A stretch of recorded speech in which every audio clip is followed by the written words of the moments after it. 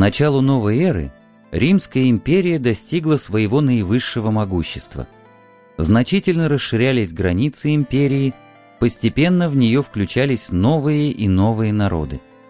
Центром этого многоязычного государства был Рим. Его называли «вечный город» или просто «город». Римляне всегда придавали особое значение благоустройству своей столицы. Однако на рубеже тысячелетий, по приказу римских императоров, лучшие градостроители и архитекторы страны с особой тщательностью перестраивали римские городские здания, мосты и акведуки, водопроводы. Акведуками Рим гордился особо. В столице империи всегда была чистая и свежая вода, которая в дома граждан Вечного Города подавалась по 11 акведукам, два из которых работают до сих пор. Рим был огромным городом. Просторные площади, великолепные храмы и роскошные дома богачей украшали центр столицы. А по краям его опоясывали узкие грязные улицы, на которых ютились лачуги бедняков. Но и дворцы и хижины римляне строили из одного и того же материала – кирпича или камня. Богатые жители могли позволить себе украсить свой дом мрамором. Для прочности постройки римляне использовали бетон. При сооружении здания выкладывали на небольшом расстоянии друг от друга две тонкие стенки из кирпича, пространство между ними заполняли бетоном, смесью мелких камешков и песка и заливали все это раствором извести. Через некоторое время раствор затвердевал, и стена становилась мощной, почти несокрушимой. Не случайно до нашего времени сохранилось столько прекрасных образцов древнеримских сооружений. После пунических войн и первых завоеваний на востоке Средиземноморья римляне изменили внешний вид и убранство своих жилищ. Покоренные величием и красотой греческих архитектурных сооружений и роскошью восточных дворцов, они захотели жить в таких же домах, как у побежденных ими народов. В Греции римлян больше всего поразили портики с колоннадами, которые украшали храмы или входы в дома-усадьбы греческих богачей. Эти портики римляне захотели устроить и в своих жилищах. Так на улицах Рима стали появляться здания, фасады которых были выдержаны в греческом стиле. Даже в городе Дома богатых римлян представляли собой усадьбу с садом и парком. Вход в такой дом-усадьбу обязательно охраняла сторожевая собака. Иногда живую собаку заменяла мозаичная фигура с надписью «Берегись собаки». Наблюдать за всеми входящими в дом был представлен раб-привратник. А чтобы он не мог покинуть своего поста, его приковывали к стене.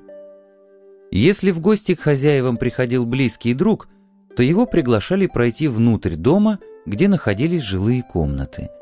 У каждого члена семьи непременно была своя комната. Если же посетитель приходил по делам, то хозяин принимал его в атрии. Здесь же, в главном помещении дома, римляне проводили большую часть времени. Это было обширное открытое пространство, окруженное со всех сторон галереями, образованными колоннами. Посередине помещался садик. Здесь стояли корзины с цветами и редкими красиво цветущими кустами и деревьями. В садике обязательно был бассейн, в котором плавали рыбки. Занавеси или шторы, протянутые между колоннами, защищали галереи от солнца и делали их приятным местом для прогулок. Вокруг колоннады было расположено множество комнат. Во-первых, это были столовые. У богатого римлянина их было несколько и все разных размеров. То в одной, то в другой устраивались роскошные пиры для всей семьи или немногих приглашенных лиц. Если же гостей было очень много, то столы накрывали в пиршественных залах. Открытые летние залы не имели потолка и были украшены ползучими растениями, из которых образовывался зеленый навес. Вокруг стола в виде буквы «П» стояли три скамьи, на которых римляне не сидели, а возлежали во время обеда. Во-вторых, во внутренний дворик выходили двери спален для дневного и ночного отдыха. По старому обычаю эти комнаты были небольших размеров. В спальне не было окон, а дверь чаще всего заменялась портьерой.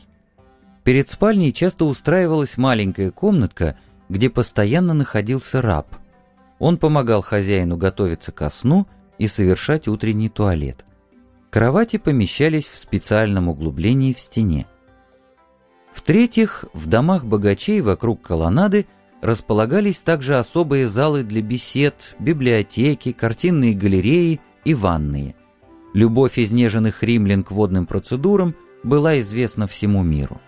Очень часто богатые римские патриции обсуждали важные дела или вели ученые беседы, нежесть в теплой, усыпанной лепестками роз воде в ванной. Все помещения дома были загромождены всевозможными украшениями, скульптурами, плитами драгоценного мрамора, колоннами, стены были покрыты штукатуркой и украшены фресками. В каждом доме обязательно была кухня, размеры которой бывали иногда громадны – до 50 метров в длину. К кухне примыкали прачечная, пекарня, помещение для винного и масляного прессов, лестницы, ведущие в комнаты рабов, кладовые и амбары. Во многих домах кухни строились недалеко от ванных комнат.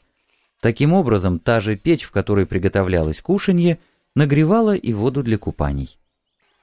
Коридор, соединяющий главные помещения дома, обычно выходил в парк.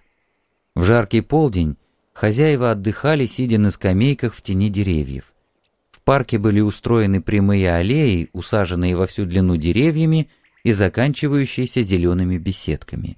Между аллеями были расположены цветочные лужайки с постриженными деревьями, которым придавалась форма различных животных или букв, составлявших имя хозяина. Фонтаны, украшенные раковинами, мраморные и бронзовые статуи – все это было нагромождено, перемешано и часто свидетельствовало либо об участии хозяина в дальних военных походах, откуда все эти вещи были привезены, либо просто о дурном вкусе. Парк тянулся до заднего переулка, который служил границей усадьбы. В случае надобности хозяин мог ускользнуть через скрытую в садовой стене калитку. Конечно, в таких домах жили самые богатые и знатные римляне. Кроме них были в Риме и люди среднего достатка, которые во что бы то ни стало хотели жить в собственном доме и считали за стыд нанимать квартиру. Как правило, они собирались по 3-4 человека или семьи и вместе строили или покупали дом, в котором каждый заселял свой этаж. Бок о бок с обширными жилищами богачей и домами добропорядочных граждан было много домов, в которых обитали ремесленники и бедный люд. Дома ремесленников были невелики и не очень удобны. К жилому помещению в них примыкала мастерская или лавка. Бедняки же и вовсе селились в пяти-шестиэтажных домах, принадлежащих богачам. Эти дома, расположенные на окраинах Рима, напоминали муравейники. На нижнем этаже такого дома сдавались помещения под лавки и харчевни, бедняки ютились в коморках под самой крышей. Здесь каждая семья снимала маленькую квартиру-коморку, состоящую из одной или двух комнат. Жизнь здесь была полна неудобств. Комнаты были очень маленькими, поэтому плебеи почти все время проводили на улице и домой приходили только ночевать.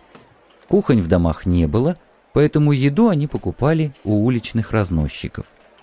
Ранним утром бедняки покидали свои квартирки и выходили на улицу – вот как описывает один римский житель улицу в квартале бедняков.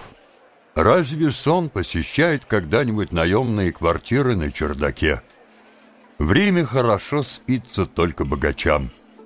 Шум повозок, скопившихся на повороте узкого переулка, до возниц, способны разбудить даже тюленей. Когда у богача какое-нибудь дело, он едет себе среди расступающейся толпы – он читает, пишет или спит, так как нигде не спится так хорошо, как в закрытых носилках. И он приезжает раньше нас, как бы мы ни торопились, так как нас останавливает толпа, стоящая впереди. Нас толкают идущие сзади. Один задел меня локтем, другой толкнул коленом. Вот еще какое-то бревно ударилось в мою голову, а голова стукнулась о кувшин. Мои ноги покрываются жирной грязью. Со всех сторон меня давят ногами. Посмотри, какой дым поднимается от этой корзины с ясными припасами. Здесь толпится сотни людей, каждый тащит с собой свою кухонную посуду. Никому не снести такого множества огромных кастрюль и другой утвари, какое нагромождено на голове этого маленького раба. А он, не сгибаясь, тащит все это, да еще на ходу раздувает огонь в жаровне. В толпе рвется его платье, без того уже покрытое заплатами. Вот едет ломовая телега, на которой покачивается высокая ель. Другие повозки везут сосны. Эти высокие столбы качаются и своим падением угрожают народу. А вот воз, нагруженный камнем. Если ось в нем подломится, и вся эта гора свалится на толпу, что тогда останется от этих людей? Подумай теперь о разных других опасностях, которые ожидают тебя ночью. Измерь-ка высоту домов, с крыш которых падают черепицы, способные размозжить тебе голову, а из окон верхних этажей — валятся битые горшки и разные осколки. Посмотри, какие знаки и трещины оставляют они при падении на мостовой. Нужно быть совершенно равнодушным человеком, не желающим предвидеть никаких случайностей, чтобы пойти ужинать в город, не составивший предварительно духовного завещания. На твоем пути столько смертей, сколько открытых окон. Все, что ты можешь пожелать, это чтобы из встречных окон тебя только облили помоями. Проведя день в духоте тесных улиц под палящим солнцем, римляне ходили мыться в термы. В Риме было около тысячи общественных бань, которые могли посещать небогатые люди. Входная плата в них была не слишком высока. И все же богатые и бедные – все стекались в вечный город в надежде найти здесь жилье и занятие. Недаром до наших времен сохранилась поговорка «все пути ведут в Рим». Однако главное, что влекло людей в вечный город, были многочисленные развлечения и зрелища.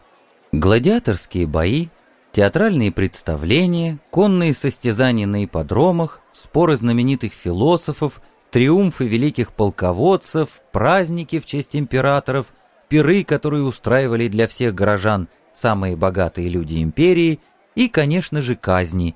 Вот что было содержанием жизни многих римлян. Жители всех соседних городов старались во всем подражать столице. Каждый город в империи считал необходимым иметь свой форум, амфитеатр, школу, быть во всем похожим на просвещенный Рим. Риму подражали, ему подчинялись, его прославляли и видели в нем совершенство. Рим был истинным цезарем среди городов. Образ Рима вошел в историю как символ мировой власти и цивилизации.